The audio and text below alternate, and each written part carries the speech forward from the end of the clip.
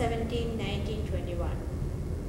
He lived with his father Simeon and his mother Latinka and his nine brothers and two sisters. At the age of 18, his father Simeon and Zarko's uncle Jovo traveled to the United States to work. On their return to Yugoslavia, Simeon became a wood merchant and eventually owned a sawmill and a farm. After high school, Zarko attended industry school for a short time and then he entered the army as a volunteer. He had been in the army for two months when the war started. He left Yugoslavia and went to Italy. From Italy, he went to Germany. On August 16, 1948, Zarko and his young wife, Bosanka, immigrated to Canada.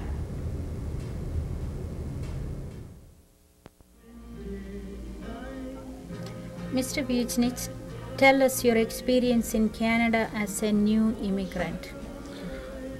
Well, I don't know where to start, but I'll start with uh, with uh, Halifax, where we landed uh, August the 16, 1948. Then we, uh, it was, uh, uh, how to say, a surprise for me how vast the country is. Uh, beautiful port of Halifax. We went to the train and we were transported all the way to Montreal to St. Paul Hostel. There we stayed uh, about uh, two weeks, and um, my wife uh, got a job in uh, in Oakville, uh, so I got a job same way there, and we stayed in Oakville for one year at Mr. Lyman Root's place. Uh, it was 69 Dundas Street. Mr. Root was uh, Lieutenant Commander of the United States Navy, but at the same time he was uh, uh, ex-president of the Sun Life Insurance Company. It was a beautiful place, and as I say, we had to, under the contract with the Canadian government, we had to stay for one year. Um, then the contract was over, we went on tobacco farm. Uh, both of us, uh, through, through a friend, we found a farm where we worked in Langton near Courtland for a Belgian family. We stayed there for a month or maybe uh, 40 days. From there we moved to Windsor because uh, Windsor was known as a auto industry, so I thought maybe I'm going to get a job there, and which I did.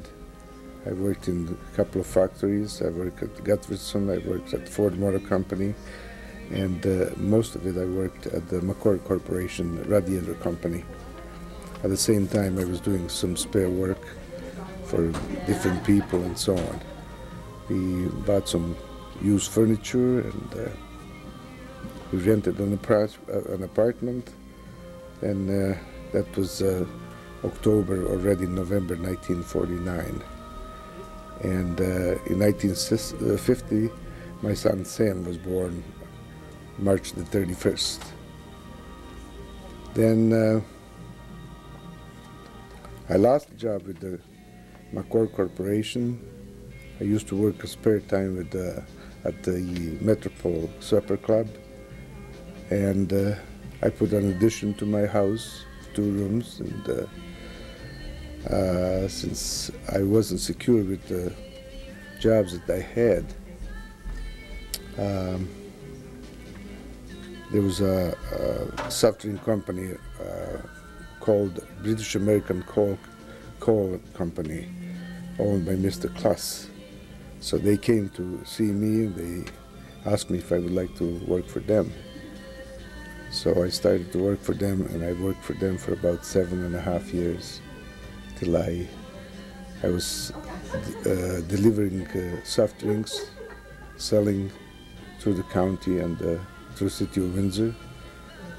And uh, I saw this place was for sale. This was just a, a house converted into the, uh, an ordinary pub. And um, I couldn't do it myself because I didn't have any money. So I found two partners and we bought it in 1959. Uh, we took it over in June the 7th. So uh, this next June will be 33 years that I'm here. So the this was already Duffy's Tavern at that oh, time? It was Duffy's Tavern. See, it was, uh, the place was uh, sold for taxes, back taxes, for three, uh, $1,250. And uh, who bought the place was Mr. Alec Duff.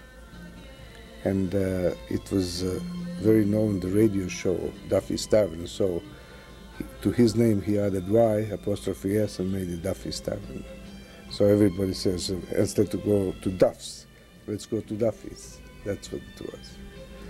The place had 57 chairs when we bought it, and uh, it was a, a, a, good potential and uh, whatever I was thinking about, uh, I think I realized that maybe I'm not finished yet, but.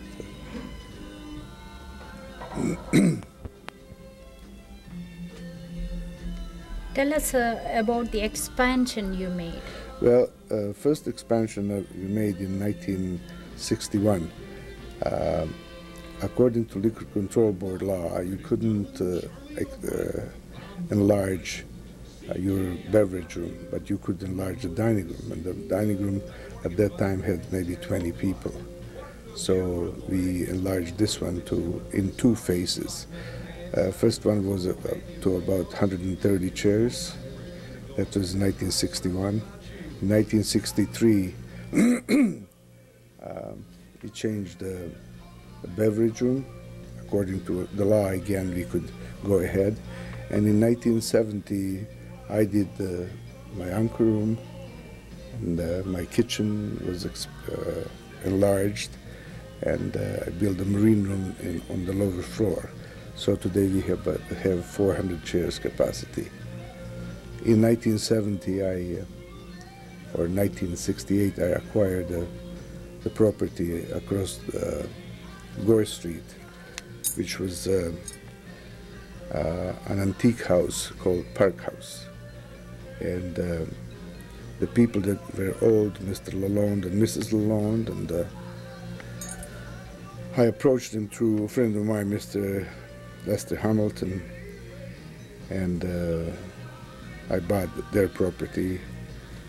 So uh, first thing that I had to do to save that house which was very historic. It was floated on Detroit River in 1795, I guess, and it was assembled by by uh, Roman numbers, you know, five, six, and so on.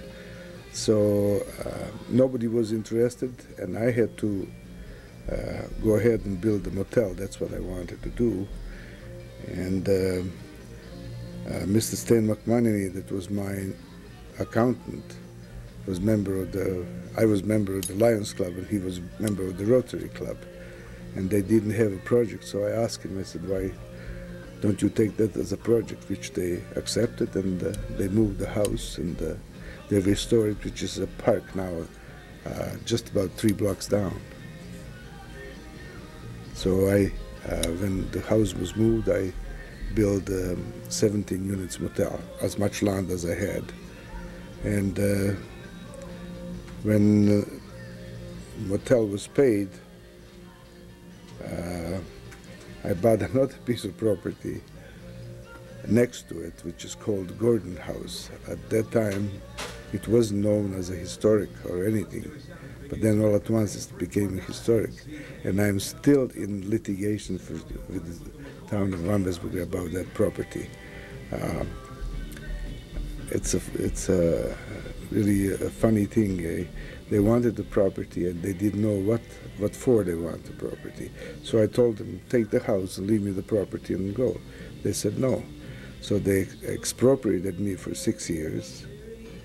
And then about four years ago, we made a deal that uh, uh, they'll move the house, uh, and uh, so I could uh, put an addition, which I did. I put an addition of 18 units, so I have 35 units motel now. and uh, they moved the house. They didn't do nothing with it. it it's there for the last four years and uh, rots. So I don't know what, uh, you know, it's unbelievable. They voted uh, twice wrong way to be right. So How do you operate the dock? the dock, uh, we operate uh, on the basis uh, first comes, first served. Uh, there's overnight docking, but uh, we operate dock as a, as a, uh parking lot.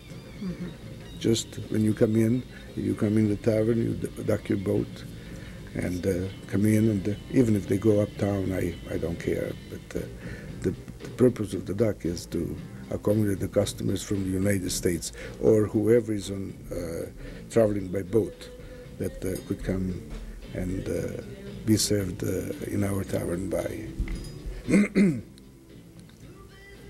Wh- What was your biggest frustration in your business life?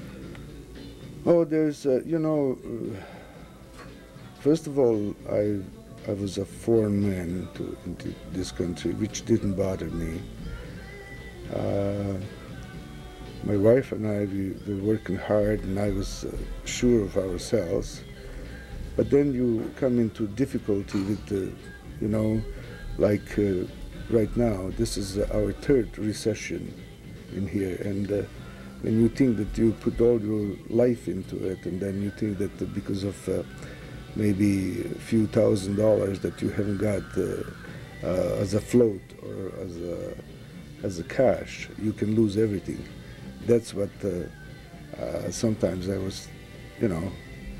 But otherwise, uh, uh, otherwise uh, it was everything was working fine. We were taking care of our kids first. We didn't. We give them much love, but it, we didn't give them too much company because we were tied up in here. But wh- wherever they wanted to go, they did. So uh, through the public school and through high school, and then after the, all, all of them, they went to Western in, uh, in London, and uh, I'm really proud of that.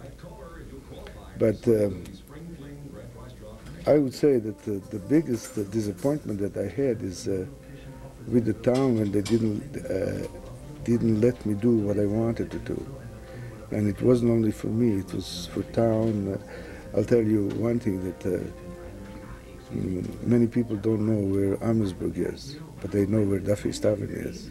That's true. So Do you believe you are a great achiever and your hard work paid off?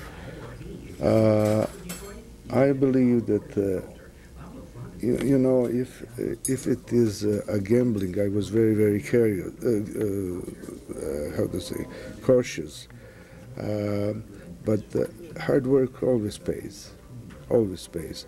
You are determined to do something, and uh, uh, you have your goal. And of course, I always had uh, support of my wife, which uh, without her I couldn't do this.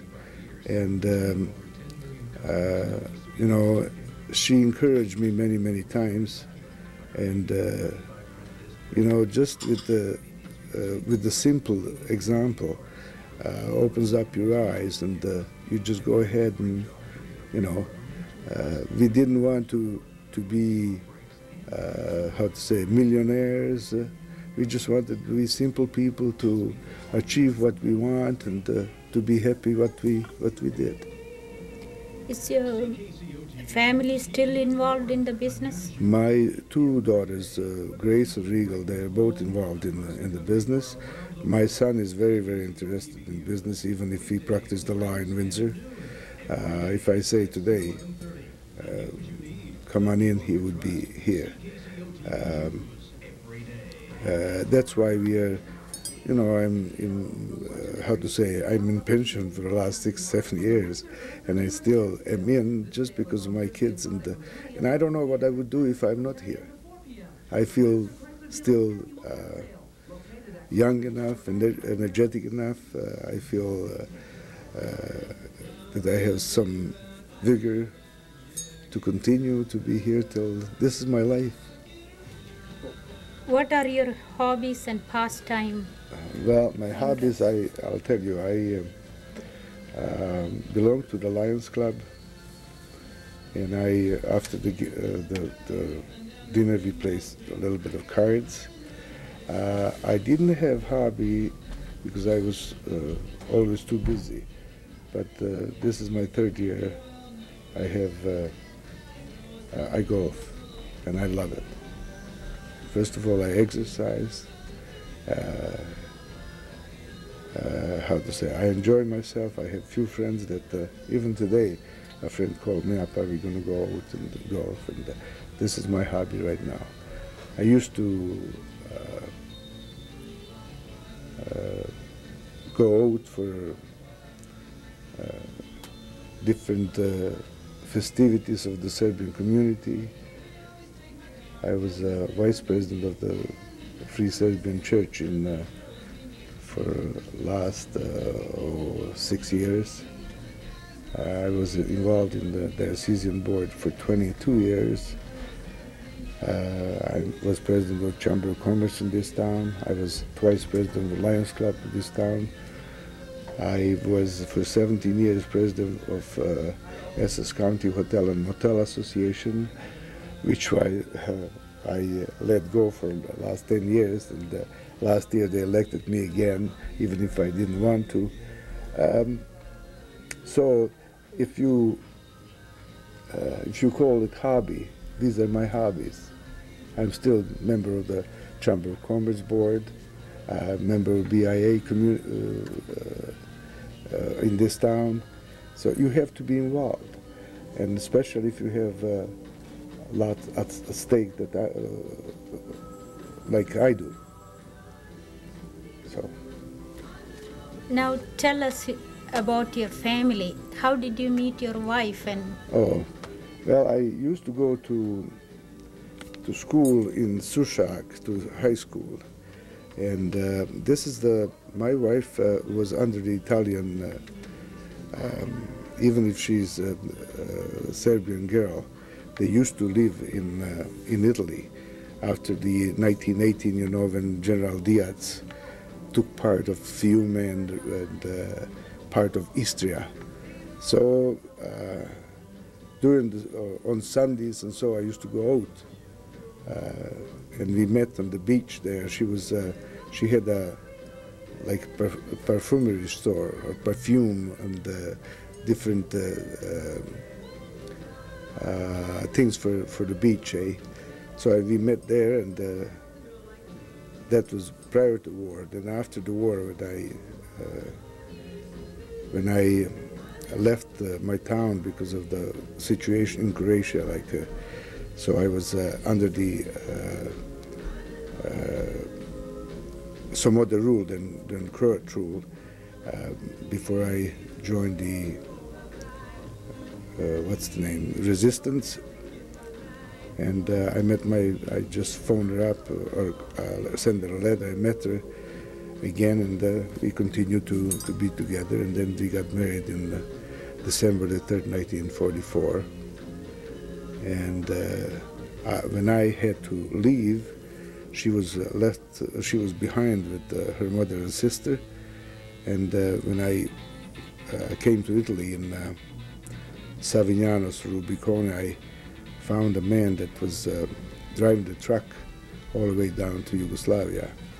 And uh, I asked him if he would deliver this letter. Uh, I paid him, and, uh, and he did. So she knew where I was, and the first thing that uh, she could, uh, she, she left and joined me sometimes in July in 1945. And ever since then, I was working for Imperial War Graves Commission. I was working at, for Allied forces in Italy, and uh, till uh, the time came that we had to leave, leave Italy, and uh, I have found a couple of friends, Canadian friends, Mr. Uh, Carmen and Mrs. Manock, and uh, Told him that I would like to go to to Canada, which uh, uh, they helped me too. But before, prior to that, I was accused by the uh, Tito's government that I was a, a war criminal. I used to command a, a, group of soldiers and so on, but uh, anybody that was against the communists was a war criminal. So I was arrested by Forces Security Service in Italy and put in uh, Regina Elena war criminal wing jail. And uh, uh it was Mayor Crisol that uh, used to be attaché for the press in Zagreb, spoke Serbian, same as I do. And uh, after the interrogation for, I don't know, three weeks, he just decided that uh, there was nothing true what uh, they accused me of, and, uh, and they let me uh, go. And went, after that, I went to to a hospital to have my tonsils out because I was in jail, always in cement, in uh, humid. And then, uh, as I say, Mr. and Mrs. Manock, uh, it was, um, see, it was, um, when I just remember all this, um, since Tito's government or Yugoslav government has an, uh, an agreement with the Italian government that anyone that they point out that they want, um, they had to uh, extradite me to, to them.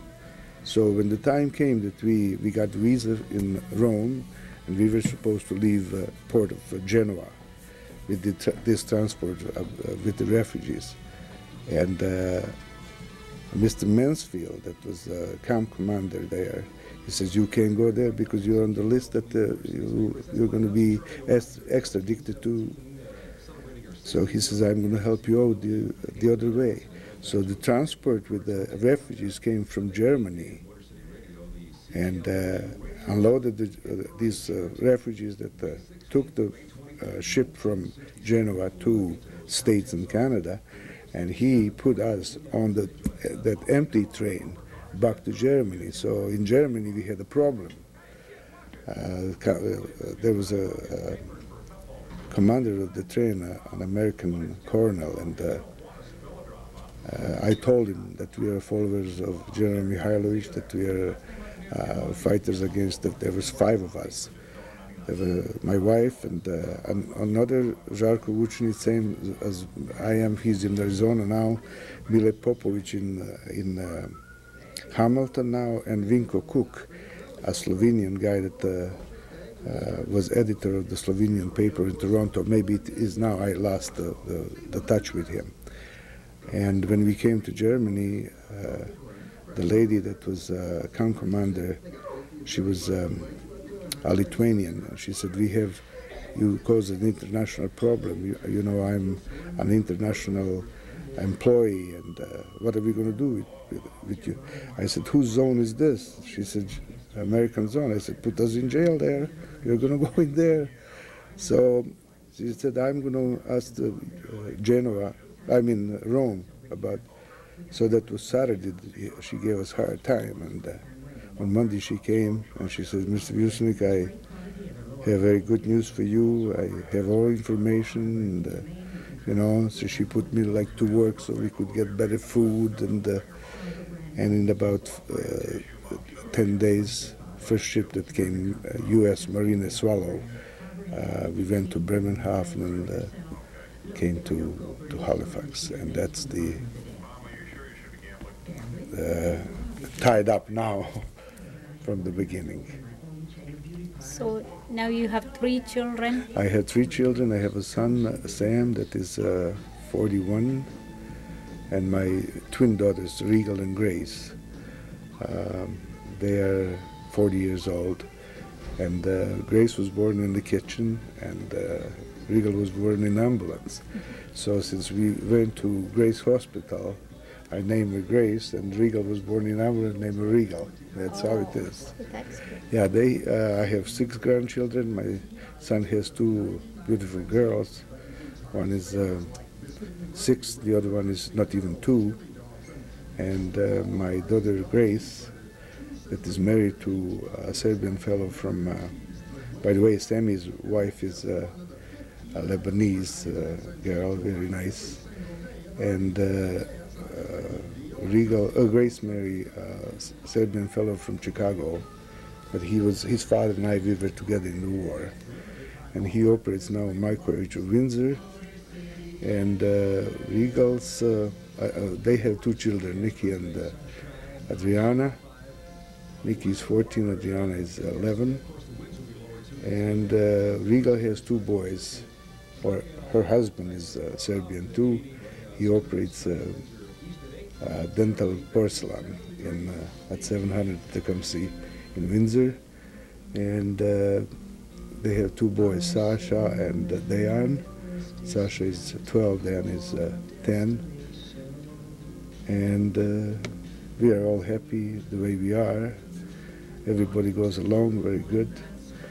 And both uh, my daughters are with me here in the business, and uh, that's my wife and I. We are every day here. We change the shift to so that uh, every day or every hour somebody is here from our family. That's the only way to operate this business. So, as I say, the kids are uh, all educated, which I am proud of, and uh, never had no trouble uh, with, uh, with them. And many, many times they remind me now of what I told them that they, they have to tell their, their kids. And Thank you very much. you're quite God welcome. Thank you. you. Thank you very much.